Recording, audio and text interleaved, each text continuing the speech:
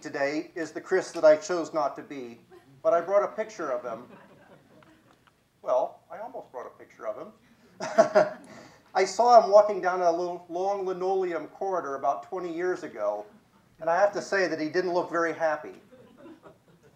When I saw him walking down that corridor, I ducked back into my office and took stock of my life in a way that I'd never done before. The thing that really disturbed me was that the Chris that I saw walking down that corridor was the Chris that it was easiest to become. And as I spent a little bit more time reflecting, I realized at that time that the Chris that I was was the Chris that had followed the easiest path for most of his life. When I started working at Digital Equipment Corporation, I got to know the group manager who oversaw the organization that I was part of, and we kept in touch over the years. He was a really nice man, and over that time he started to share some of his own story with me. He'd started his career working for Xerox Corporation. As a young man, he took the assignments that were asked of him he moved his family where the company wanted him to go, and he started to slowly climb the corporate ladder. At that time, digital was growing quite a bit, and they put together one of those offers you can't refuse and coaxed him away, and he came to join DEC as a group manager, which meant that he had people reporting to him in four different states. He told me one day that there was an unspoken agreement and that that unspoken agreement was that if you work hard, you do a good job, that eventually in a company you become what he called an elder statesman. And when you were an elder statesman, you got some perks and privileges that you kept until you retired. He said that that was basically the agreement for his generation, his father's generation, and his father's father's generation. So at that time, he had finally gotten to the point where all of that hard work was going to start to pay off. And that's when the layoffs began. He got converted into a consultant. He was required to bill 70% of his time. He got no professional or clerical support whatsoever. He ended up collapsing in an airport waiting to head out to a client site. I talked to him after his recovery, and he was very emphatic when he told me that people my age needed to take responsibility for their own life and not depend on unspoken agreements with their employers. So when I looked down that long corridor and I saw that the Chris that it was easiest to become, I saw him as a ghost-like company man and I vowed that I would never let that happen. So, my first premise is that you need to understand in your life not only the choices you make, but the choices that you turn away from in your life before you can really own where you're going. Now, the Chris that I had started off life as started out like most young people, living up to the expectations of his parents. When I headed off to a very good public school system. I added in living up to the expectations of my teachers as well. I was always taught to question and challenge things, but never really to vary too far from the path that was laid out before me. It was easy to live in that deterministic universe, asking and probing, but really never veering too far off from a path that seemed almost predetermined.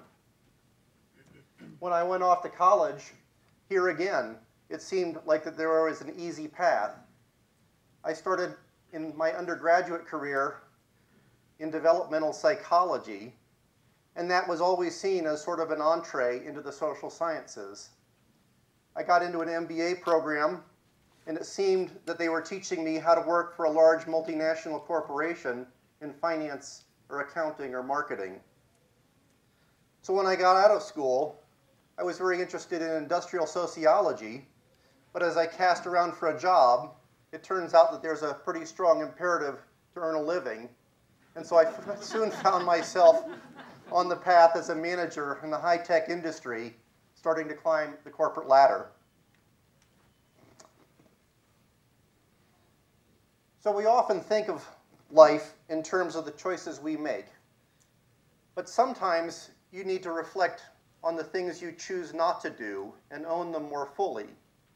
And further on, I'd ask you to think a little bit about things that you may not even recognize as choice at all.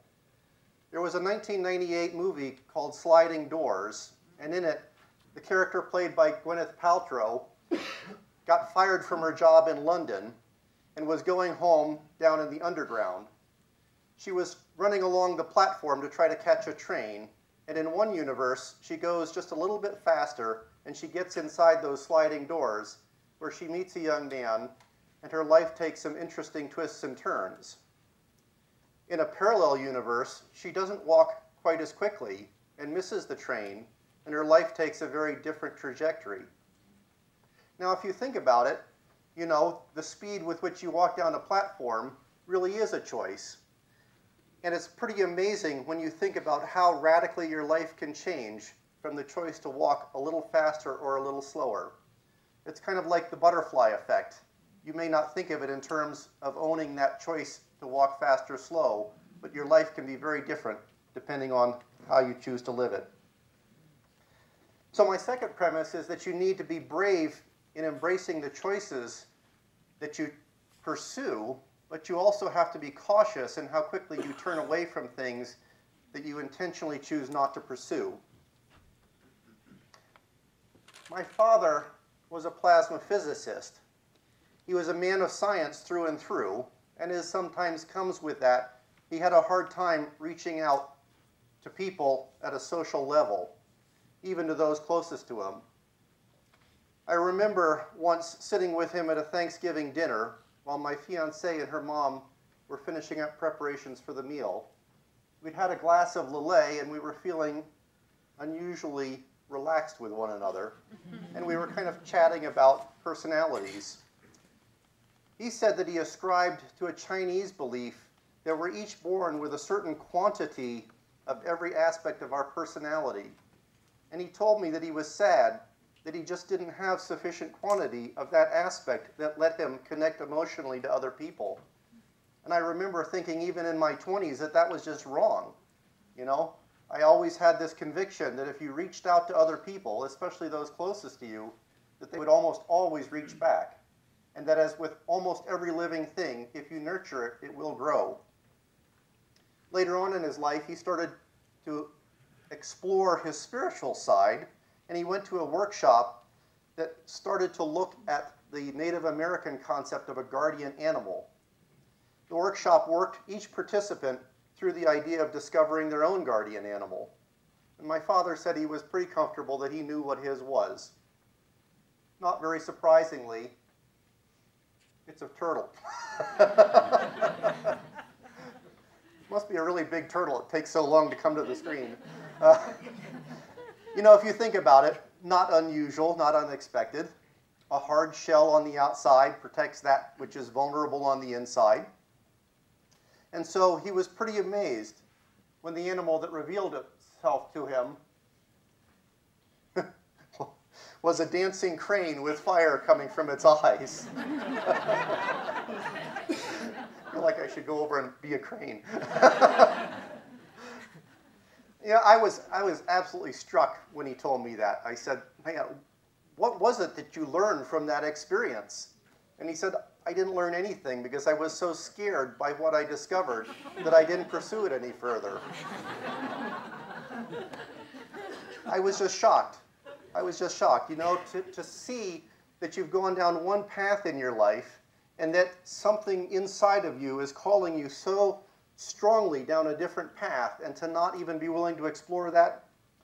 I saw the conflicts in my father and I thought, you know, there's a lot of danger in that because you could see sort of the, the torture that it creates when your heart tells you to go in one direction and yet your career is taking you in another. And again, I looked at myself and I said, I need to learn from the experiences of my father and not let that happen in my life. So, I'd ask you, kind of a shame, I had some really cool pictures on all of these slides. this one is actually Sherlock Holmes on the brink after Moriarty challenges him. Um, so I would ask you to think a, of a time when maybe you've been on the brink of a choice in your life. And I would ask you to think about whether you chose the path you chose because you fully embraced that choice, or did you choose it out of fear for the alternative? I believe that there is an authentic self in each of us, and that that authentic self is the one who really does own the whole universe of the choices you make and the choices that you turn away from. So, my third premise is that you can craft an alternate future based on fully owning those choices and non choices. And I saw with great clarity that in my own life when a very astute colleague made an observation to me. At that time, I was still working for Digital Equipment Corporation. I'd started when there were 135,000 people in the company, and it was still run by Ken Olsen, its founder. Uh, during the 1980s, you may recall that we had a tech downturn, and large companies started to shed people. At that time, I had a development group given to me, and I was told to lay off 40% of the engineers while keeping the product running. Now, I had a pretty good professional network then, and so I worked hard with the staff that I knew I had to let go, and I found all but one of them a comparable position in another company. So this colleague observed to me one day. We were out taking a walk after lunch, and he said, You know, Chris, you're getting to be pretty good at laying people off. And I thought, Well, that's kind of an interesting job skill to develop.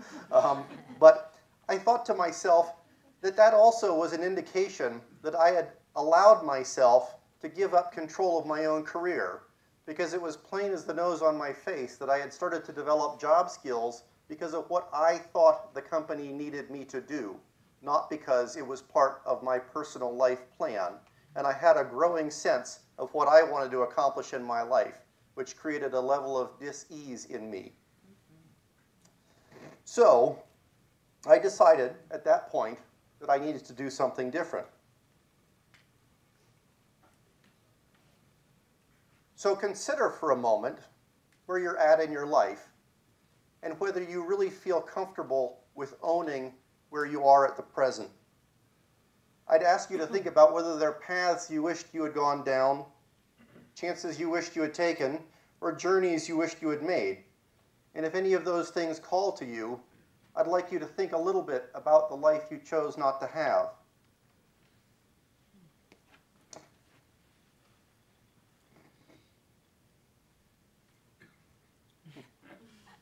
So my last premise is that if you own your own goal, the path will reveal itself. And this has been a very strong uh, theme in my life. So at that time, my wife and I talked a lot about the life we wanted to live. We were living in New England at the time, and we knew we wanted to move to the Billings area, a place where we only knew two people. We also knew that we wanted to start our own business, because I had been feeling like a small cog in a big machine, and the machine was rapidly falling apart. I had a development group at the time, and we'd created one of the first intranets in the world. And so I knew a little bit about internet technologies. At that time, there was a web server at CERN, which is the laboratory where Tim Berners-Lee created the World Wide Web protocols. And he had a website that listed every web server in the known world. And the only two states that did not have a web server were actually Montana and Wyoming.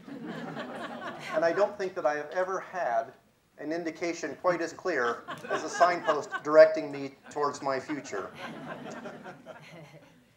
So I was kind of reflecting on the fact that the uncertainty created by working for a large corporation in uncertain economic times gave you the, the comfort of a regular paycheck, but it came with all sorts of uncertainties and challenges uh, inherent in it, and that that was no longer a safe haven for me.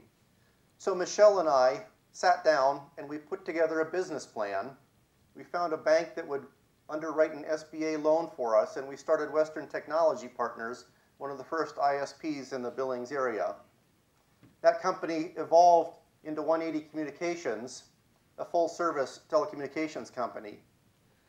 Now I find myself 18 years later bootstrapping another company with my partner Bill Simmons.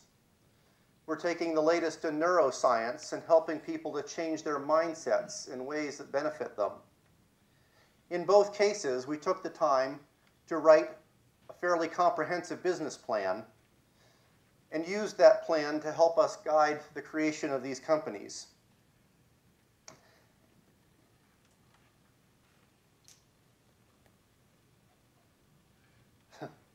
So, there's a nice picture of a lottery ticket up here. Um, so when I'm asked to talk about starting a business on occasion, I often bring this up. My question to you is, if you could write a winning lottery ticket, would you? If all you had to do was take a piece of paper and write what you wanted to win, would you do that? If it took you two pages to write it, would you do that? 10 pages? What about 50 pages? If it took you 50 pages to write a ticket, but you knew it was a winning ticket, would you take the time to do it? Well, the times that I've been most effective in my life is when I have written down a plan and used that plan as a guide to accomplish the goals that I set for myself. So I would ask you to think about where you're at in your life, and if you're in any way unhappy, I would suggest to you to take the time to win, write a winning lottery ticket. My final word is courage all of the things that I've talked about, about the life you choose, are ephemeral if you don't have the courage to turn them into reality.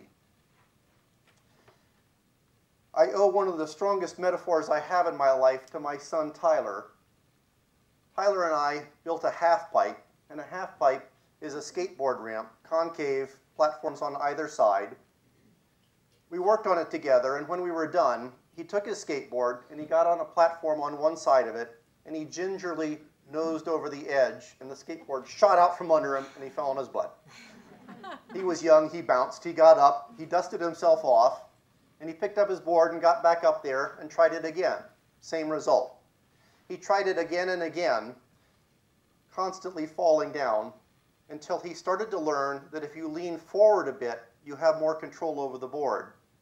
He continued to practice until he learned how to get the hang of it in order to effectively skateboard, good picture of it here, you launch yourself off the edge of the ramp and the skateboard follows you instead of you tipping it gingerly over and hoping to follow it. And that's been a very powerful metaphor to me because the times that I've been effective in my life, I have had to get a goal in mind, understand my pathway there by writing a plan, and then launch myself with thorough and utter commitment in the direction that I choose in a way that I never have remorse when I look back on the paths I might have wished to take.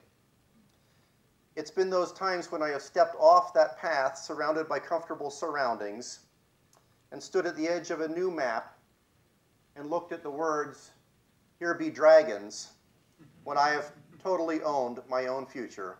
Thank you very much.